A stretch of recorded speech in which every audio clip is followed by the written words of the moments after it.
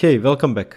In previous video we covered page style or theme that you can customize and use in your dashboard and now let's go back to theme and layout and then instead of theme I'm gonna be using this layout option. So let's see what we have there. We have this header visibility option. We can hide it, show it and make it initially hidden.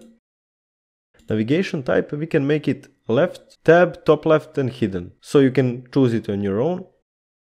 Now we can click on this and then we will not be using report theme. If we check that, we will be using that report theme for that page. We have also this option for display mode to be actual size, fit to width, and also to change this margin. Now let's scroll down and this is the most important option for us. Basically this is size of this canvas.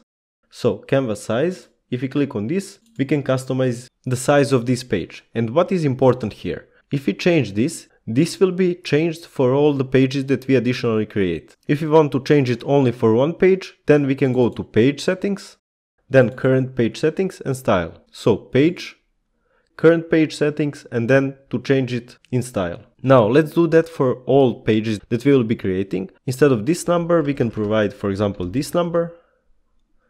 And then for height, we can provide something like this. Now you cannot see the difference here, but basically if you add more charts, you will be able to see smaller charts on your dashboard if you are having higher values here. We have also some default options, for example, so portrait, landscape, just different height and width, and also custom option. So we can customize it on our own. We can also change this, basically, and also these grid settings. In this case, I'm not gonna change this.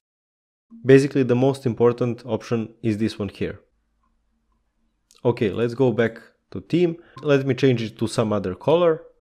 Let's use this one. And basically from now on, we will proceed with creating dashboard in Looker Studio. With this, I'm gonna conclude this video. Thank you for watching.